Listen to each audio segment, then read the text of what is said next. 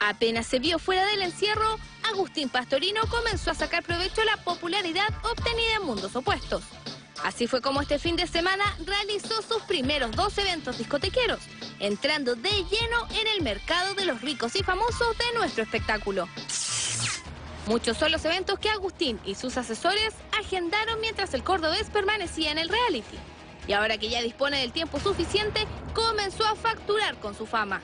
La cuarta región fue el escenario escogido por Agustín para debutar en los eventos discotequeros. Y fue él mismo quien invitó a sus seguidoras a acompañarlo este fin de semana en La Serena. Hola chicas, este sábado 23 estaré en el Club Oxígeno de La Serena. Las espero en el sector VIP para pasar un momento inigualable. Un beso. Con estos dos eventos, Pastorino facturó nada menos que 2 millones de pesos. ¿Cómo te sientes tú ahora en el exterior? Bien, me siento muy bien, estoy muy contento, acostumbrándome, salí hace poquito, así que eh, nada, acostumbrándome, ni estuve en mi casa todavía. Si bien al interior de mundos opuestos, Agustín Pastorino no era de los personajes más queridos, en su primer evento quedó demostrado que tiene un exitoso rastre entre las mujeres, quienes no dejaron de besarlo y fotografiarse con él en cada oportunidad que tuvieron.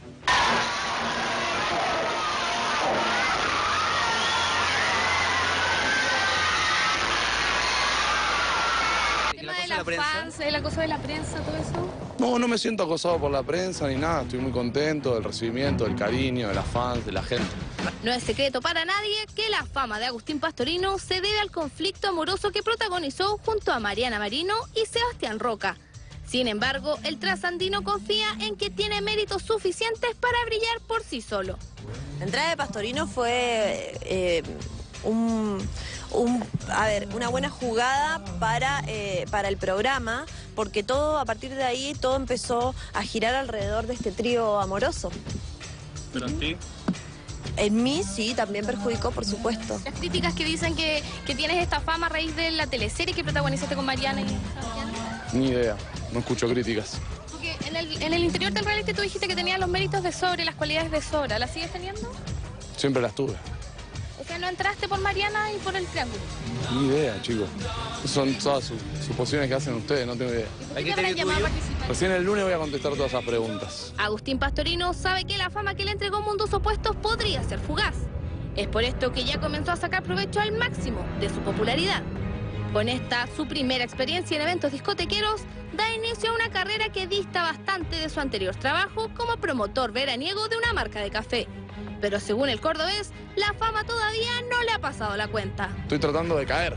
Imagínate que salí el viernes, tu- estuve más encerrado que los demás porque se desfasó mucho. Así que, nada, igual quise salir rápido del encierro y no, no quedarme encerrado para que no me agarre nada raro ni empezar a pensar cosas raras y no seguir mi vida normal.